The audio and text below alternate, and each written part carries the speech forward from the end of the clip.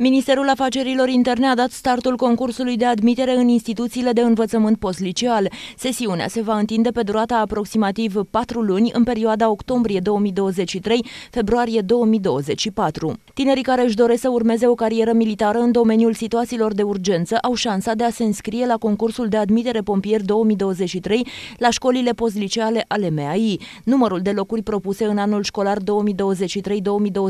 la învățământul postliceal este de 2880, iar 52 dintre acestea sunt alocate minorităților. Școala de subofițeri de pompieri și protecție civilă Pavel Zăgănescu alocă în acest an școlar 2023-2024 un total de 275 de locuri pentru tinerii care își doresc să urmeze o carieră în domeniul situațiilor de urgență. Admiterea se face numai prin concurs, iar probele sunt evaluarea cunoștințelor și a performanțelor fizice. Cei care își doresc să obțină unul dintre sutele de locuri își pot depune documentele până la data de 24 noiembrie 2023.